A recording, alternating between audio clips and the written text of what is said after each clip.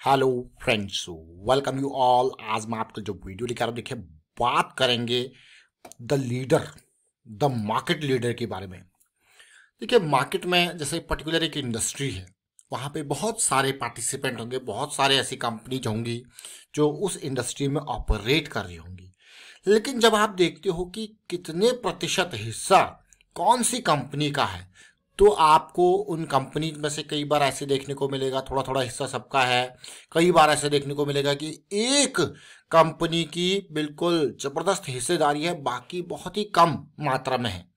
तो ऐसी इंडस्ट्री में, चलिए देखते हैं इस मार्केट लीडर स्टॉक को, समझेंगे काफ़ी डिटेल में।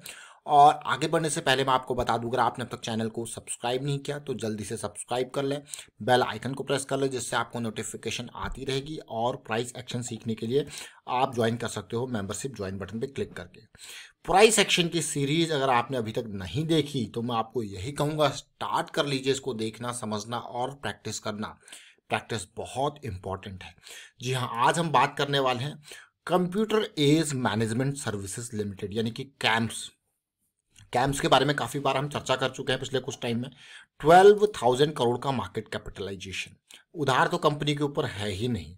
अगर आप कंपनी को देखोगे तो देखिए, जैसे कि मार्केट में बहुत सारे म्यूचुअल फंड्स होते हैं, आपने नाम सुना होगा तो उनको सर्विसेज़ प्रोवाइड कर रहा यानी कि जैसे डिविडेंड प्रोसेसिंग का हो गया ट्रांजैक्शन ऑरिजिनेशन इंटरफेस हो गया पेमेंट से रिलेटेड हो गया ट्रांजैक्शन एग्जीक्यूशन ये सारी चीज़ें, बहुत सारी सर्विसेज़ इंटरनली आपको क्या लगता है कि आप जब कोई भी म्यूचुअल फंड बाई करते हो, वो कहाँ मैनेज हो रहा है, कैसे मैनेज हो रहा है, कैसे पैसे डिडक्ट हो रहे हैं, वो सारी बैक एंड पे कई चीज़ें काम कर रही होती है। तो उसमें बहुत सारी सर्विसेज़ जो है, ये इंडिया का लार्जेस्ट आरटीए मैं कहूँगा इसको, ये प्रोवाइड कराता है।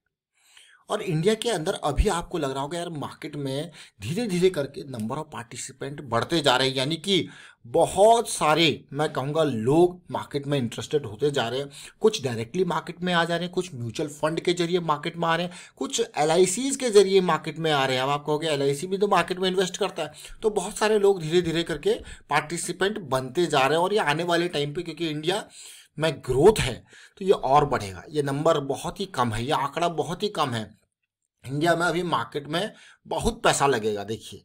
और अगर आप देखो अभी के हिसाब से, ये देखिए, एक फ़ी चार्ज करते हैं म्यूचुअल फंड कंपनीज़ को। और बहुत सारी म्यूचुअल फंड अगर आप देखो, यहाँ पे ये company top all top five mutual fund और दस आउट ऑफ़ पंद्रह लार्जेस्ट म्यूचुअल फंड उनको सर्विस प्रोवाइड कराती है और कितनी अट्ठारह साल का एवरेज रिलेशनशिप है दस लार्जेस्ट क्लाइंट के साथ।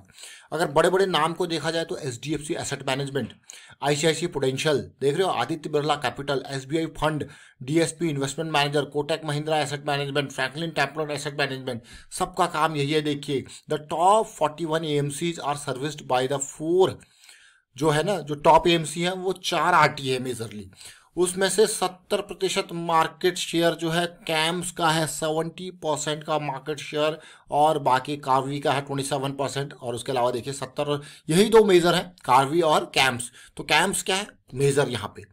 बिल्कुल टॉप में, लीडिंग फ्रॉम द फ्रंट, सबसे आगे यही जा रहा है इस सेक्टर में। तो चलिए, ये तो हमने डिटेल को समझा और क्यों ये स्टॉक रडार में है, उसको समझेंगे। थोड़ी देर पहले हम चर्चा कर रहे थे टी टी के प्रेस्टीज की। अगर आपने लास्ट वीडियो नहीं देखा तो उसको देख लेना। कैम्प्स के बारे में हम काफ़ी टाइम से चर्चा कर रहे हैं और कैम्प्स को अगर आप देखोगे तो बहुत ही बेहतरीन एक डाइवर्जेंस की सिचुएशन इसने दी थी। उसके बाद एक कंसल्टेशन देखने को मिल रहा है। और कई बार क्या होता है, जब साइडवेज मार्केट होती है तो ये हमारा जो मैं कहूँगा साइडवेज जोन है, वो थोड़ा लंबा चल सकता है।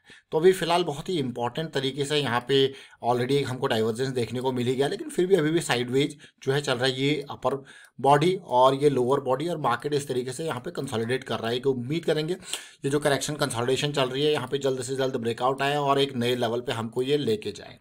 तो देखिए करंट सिचुएशन में बहुत हम, मैं कहूँगा, अच्छी खासी करेक्शन इसने हमको दी है, बहुत ही बेहतरीन करेक्शन क्योंकि मार्केट में आते ही इसने धमाल मचा दिया था, और भाई धमाल तो मचाएगा ही। क्यों? भाई मार्केट में सत्तर प्रतिशत की हिस्सेदारी इस कंपनी की है तो धमाल तो मचाएगा ही। आप देख सकते हो वीकली पे एक बहुत ही हेल्दी करेक्शन मैं इसको कहूँगा। आप देखिए ग्यारह बारह सौ में ओपन हुआ था और देखिए कहाँ से कहाँ गया। फिर एक हेल्दी करेक्शन अब उम्मीद होगी।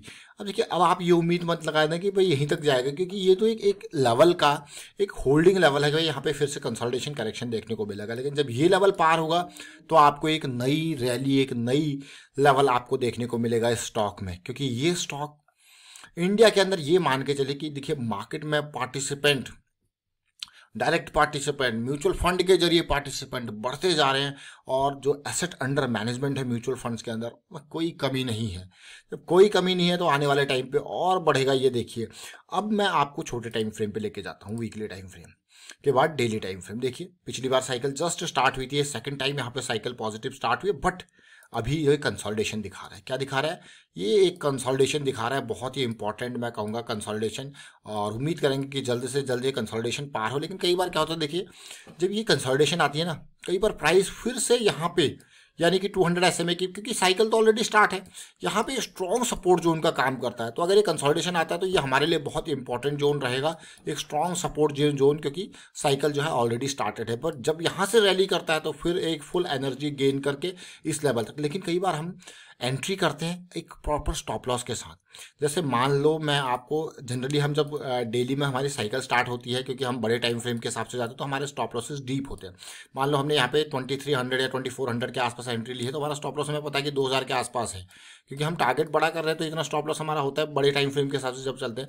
लेकिन मान लो अगर आपने यहाँ पे ब्रेक करते, यहाँ पे एंट्री लिया विद दिस स्टॉप लॉस और आपका स्टॉप लॉस यहाँ पे हिट होता है तो मैं कहूँगा आपका प्लान जो है वो फेल हो चुका है।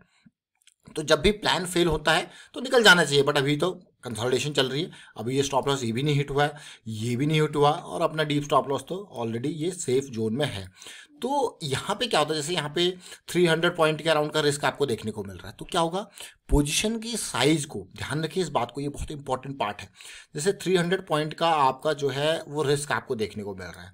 और अब आपका जो भी मैक्सिमम रिस्क है, उसके हिसाब से 300 पर शेयर के हिसाब से आप रिस्क को कैलकुलेट कीजिए and position size should be as per this risk otherwise क्या होगा कि पोजिशन साइज़ ज़्यादा होगा तो आप इस स्टॉप लॉस को भी हैंडल नहीं कर पाओगे, क्यों? आपको जल्दी निकलना पड़ेगा, क्योंकि वो जो लॉस देख के आप डर जाओगे अगर ये इस सिचुएशन में आता है। तो इसीलिए हमेशा रिस्क को मैनेज करना है रिस्क को समझना है, कितना रिस्क है, उसके बेस पे आपको आगे बढ़ना है। तो ऐसे सिचुएशन में क्या होता है, जब ये रिस्क यहाँ पे आप एंट्री ले रहे हो साइकिल के स्टार्ट होने में या आपका स्टॉप लॉस है, और अभी भी ज़्यादा दूर नहीं निकला।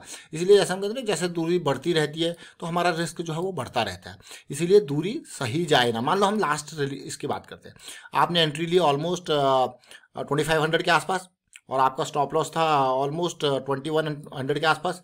तो आपको पता है भाई प्लान फेल हो चुका है निकलना है क्लोज मिल चुका है इसके नीचे तो निकलना है तो निकलना है। समझ इस पार्ट को? तो निकलना है तो निकलना है। दोबारा अपॉर्चुनिटी मिलेगी, दोबारा मौका मिलेगा। अभी के टाइम पे निकलना है। So this should be the risk management उसको आपको बहुत ही टाइटली फॉलो भी करना होता है। वाइंड अप करता हूँ वीडियो को और उम्मीद करता हूँ आपको समझ में ज़रूर आएगा। वीडियो अच्छा लगा तो शेयर ज़रूर कीजिए लाइक कीजिए प्राइस एक्शन सीखते रहिए प्रैक्टिस की, करते रहिए। And thank you thank you for watching the video